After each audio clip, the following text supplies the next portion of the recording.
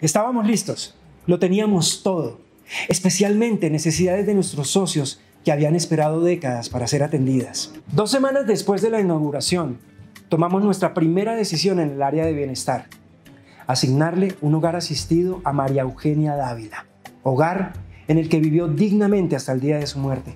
Para eso queríamos nuestra ley, para eso nuestra autorización de funcionamiento, para servir a nuestros socios. Que la primera acción oficial de nuestra sociedad de gestión haya sido esta no es una coincidencia, es lo que nos mueve, es el motor de nuestra sociedad de gestión, es lo que nos impulsa a estar en los órganos directivos de actores SSG y por extensión a nuestro equipo administrativo. Este primer caso inauguró el corazón de nuestra entidad y abrió el camino para los más de 503 socios que se han beneficiado hasta ahora.